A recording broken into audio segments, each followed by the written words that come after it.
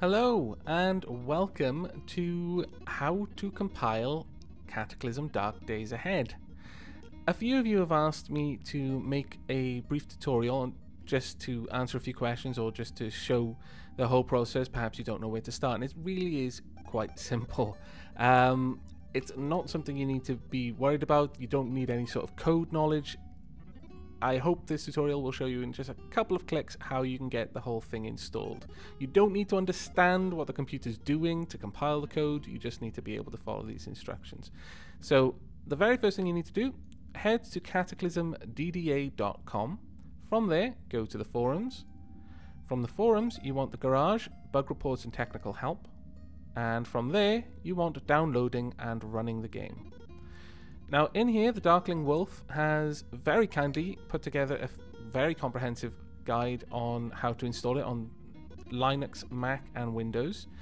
Now, I'm only going to be focusing on Windows uh, primarily because I assume that anyone who's running Linux is already going to know how to get this installed and I don't own a Mac, so I don't know how to get it installed on a Mac. So uh, you're on your own if you've got a Mac, I'm afraid.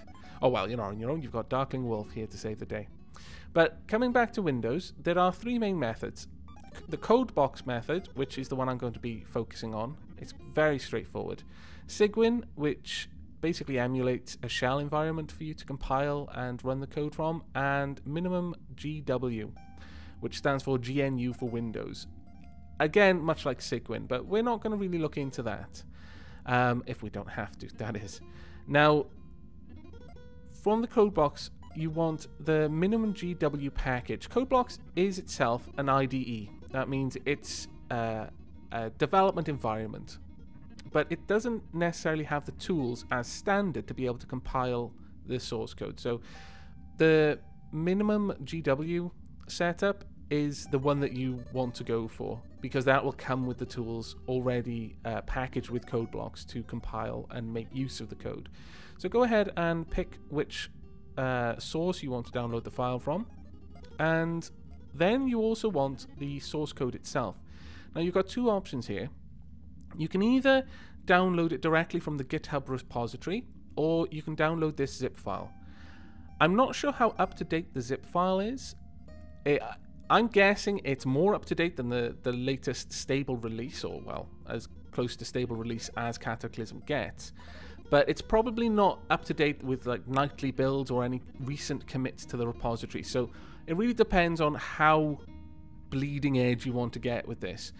If you're not familiar with GitHub or you just want an easier time, then go for the zip file. And I'm going to be focusing on that because going through how to install and use GitHub is a little bit outside the arena of this tutorial. So we're going to be focusing on the zip file, but for my part, if you do know how to use Git or can find out, it's very much worth it. You will get the latest bug fixes, the latest features, but also on the on the other side of the coin, you will also get the latest bugs. So it, it's a bit of a give and take with that. So here I've got the two files that you're going to be wanting: code blocks 12.11 min gw setup and cataclysm dda master zip.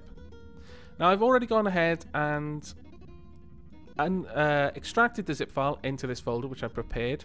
And as you can see, all of the code files, some documents, there are some README files and things in here. Now, they don't have a file extension, and Windows doesn't quite know what to do with files that don't have file extensions. This is something more in the sort of realm of Linux, so or Linux. I'm never really sure how to pronounce that word. Um, I'm sure someone will tell me in the comments. But if you want to run that and actually read it, just open with a text editor. And you should be fine. Now, the if you don't know anything to do with coding and you're not interested in, in messing around with that, you don't need to pay any attention to the vast majority of these files. This is the only one you're going to care about. Now, I've gone ahead and uninstalled code blocks just so that I can install it in this tutorial. It's a very quick install and we'll get that going now. You can more or less just have all of the default options. Obviously, if you want to take your time and look through everything, by all means. And you can install to the default location. I won't, uh, just because I don't like having too many things installed on my C drive. So we'll get that all installed now. It'll drop uh, shortcut, and once this is done, it'll ask us if we want to run it. We do. I've already got, gotten the source code where I want it to be, so we can just run it straight away. So yes, I'd like to run it now, and we've finished with the install. Now once this opens up, we are going to want to open the file I just pointed out to you. So let's find that file in here. It should be clearly marked. So cataclysmwin.cbp. And this will open the Cataclysm project. Now, again, you don't need to know what's going on here at all. So instead, you can just go ahead and click run. Oh, sorry, uh, I meant click build. Derp, I'm already failing at the tutorial. You want to click build, you don't want to run it from this. So, put that in now, and down the bottom you'll see the build log. Now this will take a bit of time, so be prepared for that. It, the, whenever you rebuild the project, especially with a large project like Cataclysm, it can take several minutes, but you want to keep an eye on this log. Generally, it should look like this. This just means it's gone through the code, it understands it, all's clear, there are no problems. If it should throw up any warnings, it'll be in here and it'll probably be in red. And that's what we're looking for. Now, personally, I've had some troubles with just running code blocks straight out of the box. And they come down to the version of the minimalist GNU for Windows that it comes packaged with. As a result, there is something that I have to do, and that is you go to the SourceForge page for Minimalist GNU. I think you can get there from here. If you click on that, it'll bring you to this installer page. Now, if you download this file, this is the installer for Minimalist GNU. So I'm just going to minimize these while this is going on. This will take a good couple of minutes. Well, depends on your system. It probably won't take many minutes at all, but uh, it'll take a little while. Now, this will take a long while, regardless what kind of system you've got. Uh, if you run this, I'm not going to go through that. I've already got this all installed. Um, it does take a long while, so I don't want to record that. It would be a lot of boring watching. But when you set this up, there are some things that I want to go over. Now, the thing that I do here, if you've got time and you've got an internet connection, which I assume you will have, go ahead and download the latest repository catalogs. This will just make things a little bit easier later on. And then you go through the rest of the the pages. If you go with the pre-packaged repository catalogs, it's not necessarily going to be bad. It just means it won't be pulling the most up-to-date tools. And you can just go next, accept the agreement, and then probably the default location, honestly, with this one, or wherever you really want to put it. Now, I'm going to cancel that because I've already got it installed. And we'll get rid of that again. There we go. And in fact, we'll get rid of these as well. Ah, my mouse double-clicking everywhere. Why do you do this to me? It hates me, even when I'm not playing games. Massive troll. Okay, now as we can see, we're still going through. We're on the R's now, though, so that's good. Oh, actually, no, we're on the M's, not the R's. I was looking at release.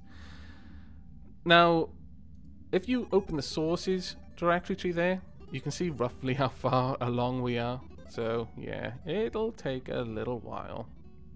We're down to mission. Where's mission?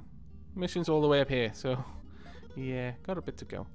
Now, the thing with the minimum GW that I was just talking about, if you go into compiler and move along to where were you?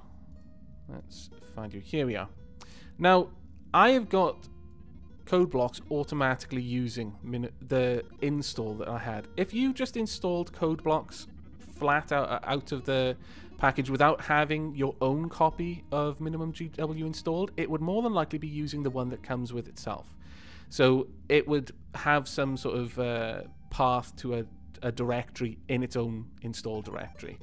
Now, by installing uh, minimum GW myself, I was able to tell it to use that and it looks like when I reinstalled code blocks it automatically noticed that I had my own copy of minimum GW installed and has decided to use that. So you're probably not going to see the issue that I've had in the past, but effectively there are certain points in the compile where the compiler would just run out of memory because of the, the way the tools it was using were configured to try and build the code.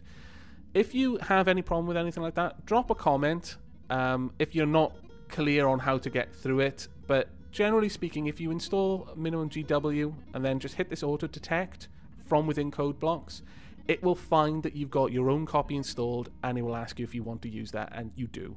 And that's really all there is to it. So, well, we don't want to over interrupt this, but uh, it doesn't look like we have. So we'll let that continue going through. We're almost to the end now. We're on tutorial, which is here. Vehicle interact there.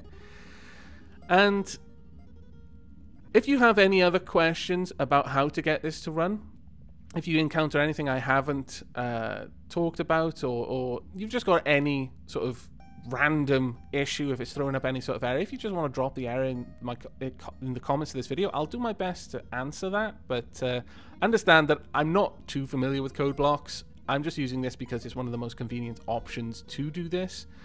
Uh, so they, I might be able to point you towards the uh, solution, or I might be able to point you towards the right forum to find the solution yourself. But uh, we will be able to work through it together.